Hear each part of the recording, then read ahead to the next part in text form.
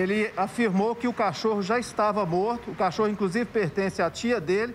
Ontem, quando houve a informação de que isso tinha acontecido, a delegada de Bela Vista pediu apoio à Polícia Militar. De imediato, as nossas equipes identificaram a família dona do cachorro e o rapaz que estava fazendo a condução aí do, do animal sendo arrastado. É, quando nós conduzimos eles para o DP, eles afirmaram que o animal já estava morto, o animal tinha pego uma virose e que o sobrinho da mulher lá tinha sido voluntário para levar o animal para um lixão para jogar fora. Porém, essa forma que foi feito, nessa maneira é, com que ele levou o animal, chamou bastante atenção, né? O rapaz fez o vídeo aí, o casal fez o vídeo, infelizmente deu essa repercussão toda. De qualquer forma, a delegacia está apurando para ver se o animal estava vivo ou não, e, e eles foram ouvidos ontem mesmo e liberados. E esse rapaz pode responder por algum ato infracional, já que ele é menor?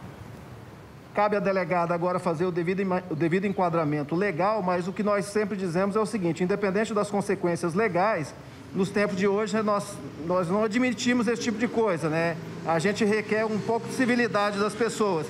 Então, mesmo que esse animal estivesse morto, essa não é a forma né, de, de, de, conduzir o animal, essa, essa forma é, é, tão desumana aí que foi, foi tratado o, o, o cachorrinho. Major, é impressionante essas imagens.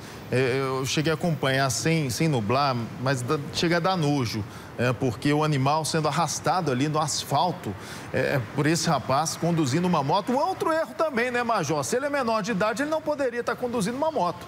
Não poderia estar conduzindo, inclusive nós tomamos as providências legais em relação a isso, porque sendo menor, fazendo a condução do veículo aí também já está errado.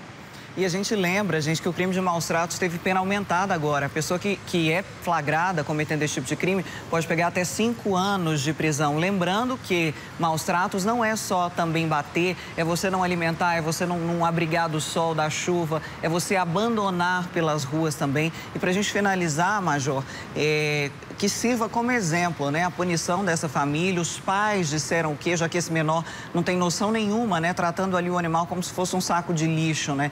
Que, que foi identificado nessa família? Eles podem também ser responsabilizados de alguma forma? Podem ser responsabilizados. O menor estava conduzindo um veículo, o menor tá, tá é, é, um ato infracional por si só.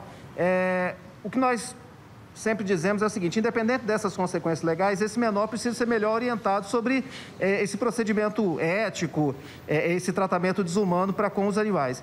É, especialmente cachorro, né? O cachorro é um animal tão leal ao ser humano e é um animal pelo qual a gente tem muito estima.